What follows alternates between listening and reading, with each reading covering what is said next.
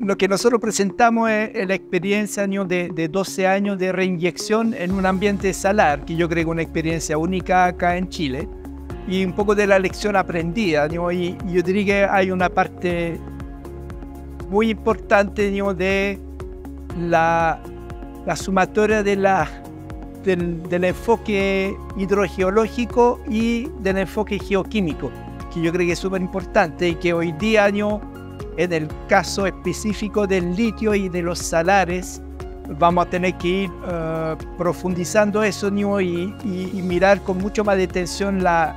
la hidroquímica y la geoquímica, que en, en, muchos casos cuando uno habla de agua uno